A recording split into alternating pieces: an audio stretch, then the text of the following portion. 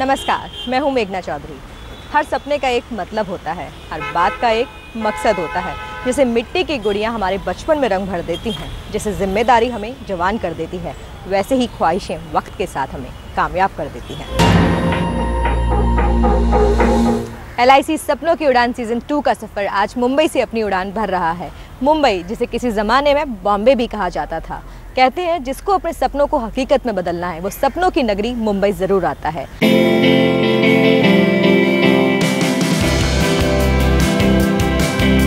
आज के हमारे एलआईसी के सफल एजेंट्स भी मुंबई से हैं। सबसे पहले हम बात करेंगे एक ऐसी शख्सियत की, जिन्होंने सिफर से लेकर शिखर तक का सफ़र यही मुंबई में तय किया, जो एलआईसी के टॉप टेन एजेंट्स में से भी एक है। आइए जानते हैं, क्या है उनकी कहानी में खास और क्या है राज? रेलवे स्टेशन और बस स्टैंड पर कभी पेन बेचकर जीवन यापन करने वाले राजेश सातोस्कर ने सपनों को केवल देखा ही नहीं, बल्कि उन्हें अपनी आज की हकीकत भी बनाया। राजेश सातोस्कर 14 साल के थे जब उनके पिता को गंभीर बीमारी से गुजरना पड़ा। पिता बीमार थे और परिवार आर्थिक तंगी के चलते पूरी तरह टूट चुका था। एक औसत विद्यार्थी होने के कारण आपके सामने कोई विशेष करियर प्लान नहीं था, लेकिन आपके मन में पैसे कमाने की लगन थी। आपने सीमेंट कंपनी में करीब साढ़े तीन साल नौकरी की पर आप अपने काम में संतुष्ट नहीं हुए। साल उन्नीस सौ इक्यानवे में आप एलआईसी के साथ जुड़े और वापस कभी मुड़कर नहीं देखा। आज आप देश के टॉप टेन एल एजेंट्स की लिस्ट में शुमार हैं। राजेश जी आपका बहुत बहुत स्वागत है हमारे खास शो LIC सपनों की उड़ान सीज़न टू में। तो आप इस सफ़र के बारे में हमें बताएँगे कि आपका ये सफ़र कैसा रहा? सफ़र बहुत शानदार था लेकिन बहुत कष्टदायक था। काफ़ी स्ट्रगल काफ़ी पेशेंस बढ़ गए पूरे लाइफ जीने के लिए। और वो जो वो जो स्ट्रगल था उससे आज प्राउड फील होता है और आगे की ज़िंदगी जीने के लिए एक प्रेरणा मिलती है। तो जो आपकी कहानी है उसके बारे में कुछ बताना चाहेंगे कि किस तरह से एक पेन वाला एक एलआईसी के साथ एक बड़ा एजेंट बन गया एक सफल एजेंट बन गया? ये उनतीस साल की एक स्टोरी है जो। शुरू हुई काफ़ी बेसिक्स चलाने के लिए। मैंने घर खर्च के लिए हमारे पास पैसे नहीं थे क्योंकि मेरे पिताजी की सैलरी बंद हो गई वो बीमार थे। मेरी माँ ने मुझे हिम्मत दी कि घर चलाना है हमको बेसिक्स के लिए। मैं चौल में रहता था एक। पेन भी बेचा बुक भी बेचा कोरियर सर्विस में भी गया। मैंने सीमेंट भी बेचा। मैंने सब कुछ किया। जहाँ पर मुझे कुछ ना कुछ घर के लिए मिलता है। पाँच सौ रुपये की पहली नौकरी की थी। उसके बाद बारह सौ रुपए की नौकरी की थी। जिस व्यक्ति ने उधर से मुझे निकाल के लाइफ इंश्योरेंस में लाया हुआ है सतीश मंजूर है मेरे स्कूल फ्रेंड ऐसे में उनका क्या रोल रहा है आपकी कहानी को बनाने में? आज भी जो भी मैं हूँ जो भी कामयाबी मिली है just because of Satish Manjure उनकी वाइफ सुषमा मंजूरे जिन्होंने हमें तैयार करने में एज ए एजेंट कामयाब बनने के लिए दोनों हस्बैंड वाइफ डीओ और उसकी वाइफ दोनों ने हमारे लिए बहुत कुछ किया है। एलआईसी के बारे में आप क्या कहना चाहेंगे? एलआईसी ने आपका कितना साथ दिया है अब तक? एलआईसी साथ दे रही है दिया था और आगे देगी। मुझे किसी क्लाइंट को कन्विंस करने की ज़रूरत नहीं पड़ती कि हाउ स्ट्रांग माई कंपनी मेरी कंपनी क्या है?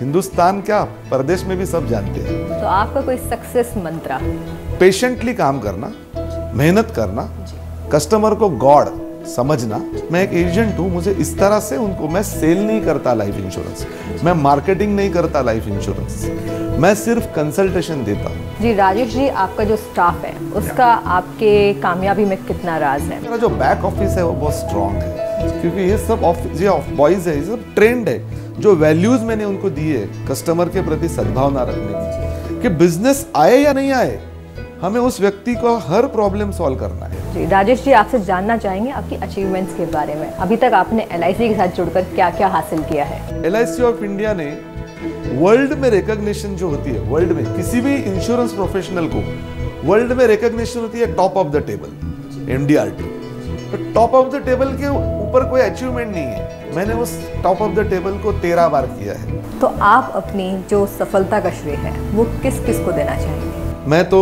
यही सोचता हूँ कि अब बिगिनिंग है। अभी तो शुरुआत हुई है। डीओ और उनकी वाइफ सुषमा के अलावा मेरी सिस्टर जिसने मेरे लिए स्ट्रगल किया मेरी माँ और सबसे इम्पोर्टेंट मेरे लाइफ में मेरी वाइफ दीपिका सातोस्कर। जो लोग इस प्रोफेशन में आना चाहते हैं जो जैसे आपके एलआईसी ने सपनों को रंग भरा है जैसे उड़ान दी है उस तरीके से क्या उनके सपने भी पूरे हो पाएँगे इस प्रोफेशन में आकर? इस प्रोफेशन में आना बहुत ईजी है। अब एजेंट बन जाते हो काफ़ी एजेंट बन चुके हैं। लेकिन यहाँ पर कामयाबी करना सक्सेस करने के लिए स्ट्रगल मेहनत पेशेंस ऑनेस्टी बहुत इंपॉर्टेंट है। तो राजेश जी उम्मीद करते हैं जो आपकी कहानी है उससे हमारे जो व्यूअर्स हैं उनको काफ़ी प्रेरणा मिली होगी। और उम्मीद करते हैं वो भी एलआईसी में एज एन एजेंट जुड़ेंगे और अपने सपनों को साकार करेंगे। बहुत बहुत शुक्रिया हमें अपनी कहानी से प्रेरणा देने के लिए। बहुत बहुत शुक्रिया।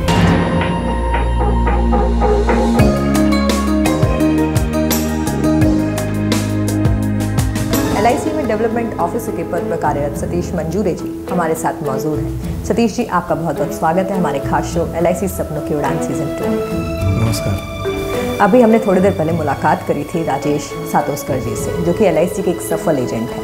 उन्होंने बताया कि आपका उनकी कहानी के अंदर एक अहम रोल है।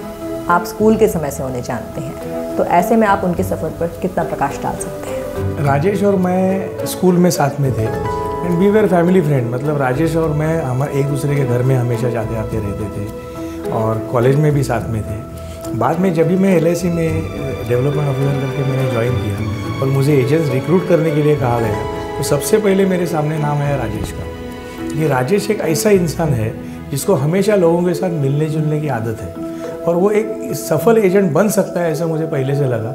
Rajesh is the first agent I have recruited agents का चुनाव करने के लिए आप उसमें क्या योग्यताएँ देखते हैं? देखिए एजेंट के लिए सबसे पहले बात ये देखनी चाहिए कि ये रिस्पॉन्सिबल है कि नहीं। तो रिस्पॉन्सिबिलिटी पहली चीज़ है। दूसरा मैं ये मानता हूँ कि उसके पास वक्त होना चाहिए। लोगों के सेवा में पूरा टाइम अपना देना चाहिए। ये दो चीज़ें बहुत इंपॉर्टेंट है। सतीश जी आपसे जानना चाहेंगे आप राजेश जी के दोस्त हैं सलाहकार हैं साथ ही आप उनके डेवलपमेंट ऑफिसर हैं। तो इसमें आप किस तरह से उनके साथ में रोल निभा पाते हैं? नहीं होता है, क्योंकि एक डेवलपमेंट ऑफिसर जो है ना, वो एक मेंटोर है, एक कोच है, एक गाइड है। कि टीम में एक रोल है डेवलपमेंट ऑफिसर का मेंटोर का कोच का। ये रोल मैं अदा करता हूँ। वो हमारे स्टूडेंट्स हैं, वो सुनते हैं, देखते हैं और ग्रो हो रहे हैं। लास्ट तीस साल में राजेश को आज आप जिस तरह देख रहे हैं, इसका ग्रोथ और ये ग्रोथ अभी ख़त्म नहीं हुआ, ये आगे चल के चालू रहेगा अभी। और लेकिन ये रिलेशनशिप दोस्ती और ये अलग अलग है एल के साथ आप 30 सालों से जुड़े हैं। तो ऐसे में आपने एलआईसी में कितने बदलाव देखे हैं और एलआईसी का कितना योगदान है एलआईसी एजेंट्स और डेवलपमेंट ऑफिसर को कामयाब बनाने में? एलआईसी एक मार्केटिंग ऑर्गेनाइजेशन है और एलआईसी का जो मोटो है that is people's money for people's welfare ये लोगों के प्रति एलआईसी की जो काम करने के लिए है हमारा काम है एलआईसी के लिए पैसा मोबिलाइज करके लाना। उसके बदले में लोगों को बीमा देना सुरक्षा देना सेविंग्स देना। तो एल 1987 से 2017 एल के 60 साल पूरे हुए, उसमें से आधा सफ़र मैं उनके साथ में हूँ। काफ़ी बदलाव हुए पर्टिकुलरली आईटी में LIC ने जो भी चेंजेस लाए हैं, वो डायनेमिक है, बहुत ही डायनेमिक और ये चेंजेस जो लाए हैं, उसमें एजेंट और डेवलपमेंट को बहुत अच्छा सपोर्ट मिला है। और उसकी वजह से हम अच्छी तरह से काम कर सकते हैं। जो हमारी यंग जनरेशन है या फिर जो भी लोग हैं जो LIC के साथ जुड़ना चाहते हैं ऐसे में आप उनके लिए क्या कहना चाहेंगे कि ये प्रोफेशन उनके लिए कितना सही है? LIC ने एक मिशन लिया है mission 2020 policy in each pocket तो 2020 में LIC की पॉलिसी सबके पास होनी है। 70 परसेंट लोगों का पॉलिसी अभी निकालना बाकी है। अनइंश्योर्ड है।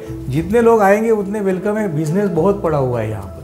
तो जो लोग आना चाहते हैं वो जल्दी से जल्दी जुड़ ये मेरा सलाह है उनके लिए। सतीश जी आखिर में आपसे जानना चाहेंगे कोई संदेश या कोई मैसेज जो आप हमारे व्यूअर्स को या फ्यूचर एजेंट्स को देना चाहते हैं? देखिए एलआईसी एजेंसी एक ऐसा करियर है एक ऐसा प्रोफेशन है जिसमें आपको चाहिए तो लिबर्टी है और चाहिए तो एक प्रोफेशनल है। तो मेरा कहना है कि आना चाहिए और जुड़ना चाहिए।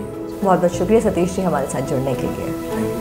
अभी हमने आपकी मुलाकात कराई एलआईसी में डेवलपमेंट ऑफिसर के पद पर कार्यरत सतीश मंजूरे और साथ ही एलआईसी के सफल एजेंट राजेश सातोस्कर जी से। इनकी कहानी से आपको भी मिली होगी प्रेरणा। अगर आप भी जुड़ना चाहते हैं एलआईसी के साथ तो आप जा सकते हैं एलआईसी की नज़दीकी ब्रांच में।